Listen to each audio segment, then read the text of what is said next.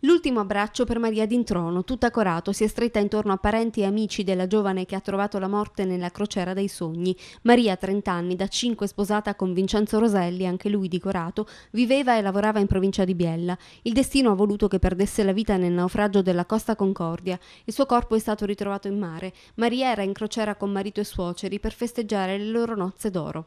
Era la sola a non saper nuotare, è stata la sola a morire.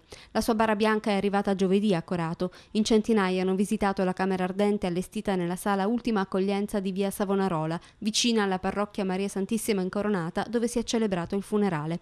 Una folla silenziosa e commossa ha seguito l'uscita della bara dalla sala e l'ha accompagnata nel breve tragitto fino in chiesa. Dal parroco Don Gino De Palma parole semplici, quelle di un padre e di un fratello che di fronte alla morte improvvisa sussurra forza, coraggio, appellandosi alla fede per dare consolazione. Un dolore composto, quello dei parenti, che si sono stretti l'uno all'altro per per farsi forza.